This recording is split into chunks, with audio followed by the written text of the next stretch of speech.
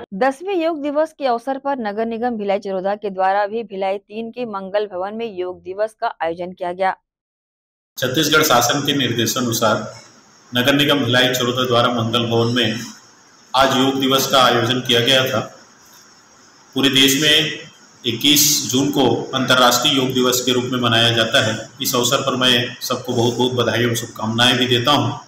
साथ ही साथ लोगों को कहना चाहूँगा न केवल हम 21 जून को योग करें, अपितु अपने दैनिक जीवन, जीवनचर्या में योग को निश्चित रूप से आप लोग उपयोग करें, जिससे आप भी स्वस्थ रहेंगे, आपका मन मस्तिष्क भी स्वस्थ रहेगा, जिससे आप लंबे समय तक निरोग होकर जीवन जी सकते हैं। पुनः आप लोगों को योग दिवस की बहुत बहुत बधाई।